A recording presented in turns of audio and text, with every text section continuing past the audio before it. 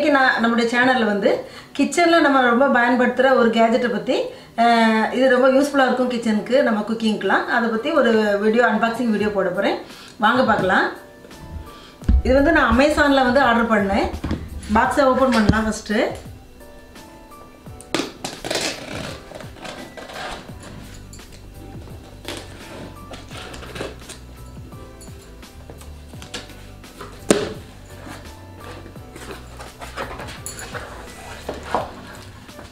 நல்ல சீல்டு பேக்கேஜாக இருக்குது நல்ல அது அது வந்து டேமேஜ் ஆகாதபடி நல்லா கவர் பண்ணி அந்த மாதிரி கொடுக்குறாங்க.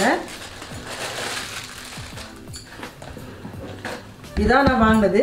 Pigeon handy mini chopper vegetable cutter இது வந்து முன்னெல்லாம் ஒரு நீட்டமாக ஒரு க்ரீன் கலர் உள்ள வெஜிடபிள் சாப்பர் வச்சுருந்தோம். அதை விட இது வந்து ரொம்ப ஈஸியாக இருக்குது நான் இது வாங்கி யூஸ் பண்ணியிருக்கேன். அதை பண்ணிவிட்டு என் ஃப்ரெண்டுக்கு கொடுத்துறேன். இப்போ அடுத்தது ஒன்று அன்பாக்சிங்க்காக வாங்கியிருக்கேன். பிஜியன் ஹேண்டி மினி சாப்பர் பார்க்கலாம். இதோட விலை வந்து ஃபோர் நைன்ட்டி நைன் போட்டிருந்தாங்க. பட் செயலில் கொடுத்தது வந்து டூ ஃபிஃப்டின்னு கொடுத்தாங்க. டூ ஃபிஃப்டி தான் அதோட விலை. இதோட லிங்க் வந்து நான் உங்களுக்கு டிஸ்கிரிப்ஷனில் கொடுக்குறேன். நீங்கள் அதை பார்த்துக்கலாம். இதுக்கு வந்து சிக்ஸ் மந்த்ஸ் வாரண்டி கொடுத்துருக்காங்க. சிக்ஸ் மந்த்ஸ் வாரண்டி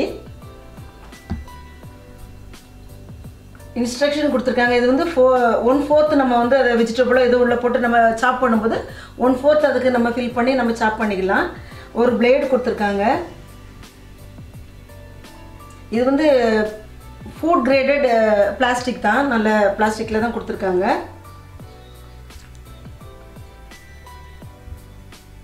பார்க்கலாம் ஓப்பன் பண்ணலாம்.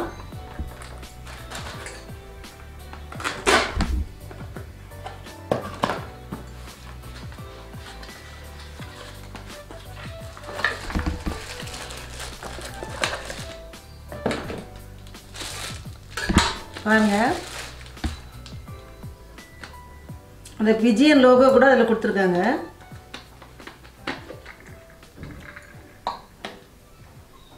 ஒரு ஷார்ப்பான பிளேடு இருக்குது அதில் வந்து த்ரீ பிளேடு இருக்குது பிளேட்லேயே வந்து த்ரீ இது இருக்குது த்ரீ இது இருக்கிறதுனால வந்து நம்மளுக்கு வெஜிடபிளாக நல்லா நல்லா எல்லா இடமும் நல்லா ஃபைனாக சாப் பண்ணுறதுக்கு நம்மளுக்கு இது யூஸ்ஃபுல் ஆகும். இது ஃபுட் கிரேடட் பிளாஸ்டிக் தான் நம்மளுக்கு கொடுத்துருக்காங்க. ரொம்ப ஷார்ப்பாக இருக்கும். கொஞ்சம் கேர்ஃபுல்லாக ஹேண்டில் பண்ணணும். இதுதான் பவுலு கீழே நம்ம அது ஸ்டாண்ட் மாதிரி வச்சுக்கிறதுக்கு ஒரு ரப்பர் இது மாதிரி கொடுத்துருக்காங்க. கீழே வச்சுக்கிறதுக்கு. நடுவில் ஒரு நாப் இருக்குது இது அதோடைய லிட்டு மூடி. இதுலேயே நாப் இருக்குது இந்த நாப் வந்து இந்த இதில் வந்து ஃபிட் ஆகி நம்மளுக்கு வந்து அதை சாப் பண்ணுது. இது வந்து யோயோ மெக்கானிசத்தில் கொடுத்துருக்காங்க. இந்த ரோப் மாதிரி கொடுத்துருக்காங்க. இது வந்து யோயோ மெக்கானிசம் இந்த மூடி கூட கொஞ்சம் நல்லா தின்னா இருக்குது இது வந்து நம்ம இப்போ எப்படி யூஸ் பண்ண இது வந்து பிளேடு வந்து ஸ்டெயின்லெஸ் ஸ்டீல் பிளேடு தான் வந்து நல்ல ஒர்க் ஆகும் பட் வந்து ஸ்பேர்லாம் நம்மளுக்கு கொடுக்கல. ஸோ வந்து நம்ம கொஞ்சம் கேர்ஃபுல்லாக தான் அதை ஹேண்டில் பண்ணணும். இப்போ நம்ம வந்து இதை வச்சு நம்ம எப்படி வெஜிடபிள்லாம் கட் பண்ணலாங்கிறத நம்ம பார்க்க போகிறோம் இப்போ வந்து நான் அந்த வெங்காயத்தை நான் வெட்டி காட்டுறேன். ஃபஸ்ட்டில் வந்து பிளேடை நீங்கள் உள்ளே வச்சுக்கோங்க. வச்சுட்டு நம்ம வெங்காயத்தை கொஞ்சம் இந்த மாதிரி பெருசாக கட் பண்ணி போடுங்க. போட்டாச்சு. இந்த நாப் வந்து இந்த இதில் வந்து லாக் ஆகிற மாதிரி நீங்கள் பண்ணுங்கள் பண்ணிவிட்டு இந்த மாதிரி லாக் ஆகிரும் லாக் ஆகிற சத்தம் கேட்கும். அதுக்கு பிறகு நம்ம மேலே லைட்டாக ஒரு இது ப்ரெஷர் கொடுத்துட்டு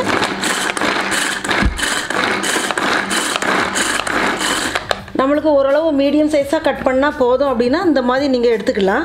திருப்பி இன்னும் நம்ம கொஞ்சம் பொடிசாக வேணும். இந்த மாதிரி ஊத்தாப்பம் போடுறதுக்கு மஞ்சூரியன் பண்ணுறதுக்கு அந்த மாதிரினா கூட ரெண்டு தடவை நீங்கள் வந்து இதை லைட்டாக அப்படி எடுத்து விட்டுக்கலாம்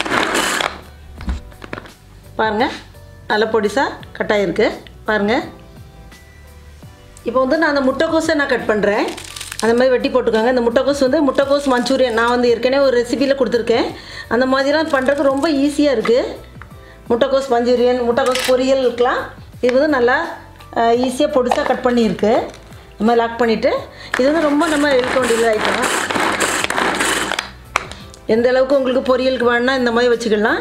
இல்லாட்டி இன்னும் கூட உங்களுக்கு மெலிசா வேணும்னா பாருங்கள் நல்லா மெல்லிசா கட் பண்ணியிருக்கு. அடுத்து தக்காளியை நம்ம கட் பண்ணி பார்க்கலாம். தக்காளியில் நம்ம வந்து சிக்கன் கிரேவி இந்த மாதிரி பன்னீர் கிரேவி எல்லாம் பண்ணும்போது நம்ம வந்து கொஞ்சம் மெல்லிசாக பொடிசாக இருந்தால் வந்து ஈஸியாக வந்து அது மேஷ் ஆயிரும். இது வந்து நம்ம எவ்வளோ தூரம் நம்மளுக்கு பைனாக வேணுமோ அந்த அளவுக்கு நம்மளுக்கு நல்லா பைனாக மேஷ் ஆயிடுது கட் பண்ணிடுது பாருங்கள்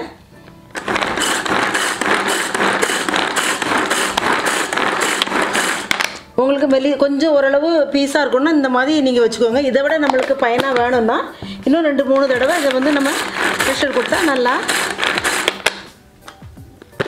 பாருங்கள் நல்லா கட் பண்ணியிருக்கு. அடுத்து வந்து நான் பூண்டு இஞ்சி பச்சை மிளகா ஒன்றா சேர்த்து நான் கட் பண்ண போகிறேன் இது வந்து நம்மளுக்கு வந்து ஏதாவது கிரேவி பண்ணுறதுக்கு இந்த மாதிரி மிளகாத்தூள் சேர்க்காம நம்ம வந்து க்ரீன் சில்லி போட்டு நம்ம ஆட் பண்ணும்போது ரொம்ப ந நல்லதுன்னு கூட நான் சொல்லியிருக்கேன் நிறைய ரெசிப்பியில் அந்த மாதிரிக்கு இதை வந்து இந்த மாதிரி நீங்கள் கட் பண்ணி நீங்கள் ஸ்டோர் பண்ணி வச்சுட்டோன்னாக்கி நம்ம எந்த இதுக்கும் நம்ம இதை வந்து ஆட் பண்ணிக்கலாம். லைட்டாக அப்படி கீறி போட்டுக்கோங்க. ஜிஞ்சர் போடுறேன்.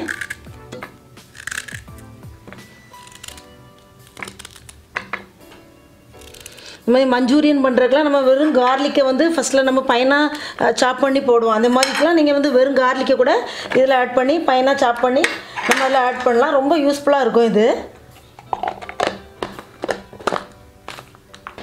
லாக் பண்ணியாச்சு.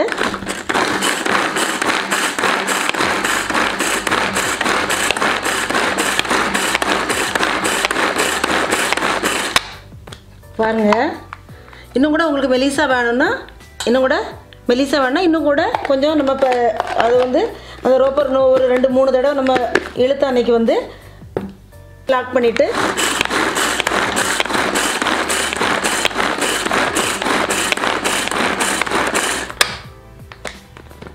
இந்த பாருங்கள் எவ்வளோ ஃபைனாக சாப் பண்ணியிருக்கு.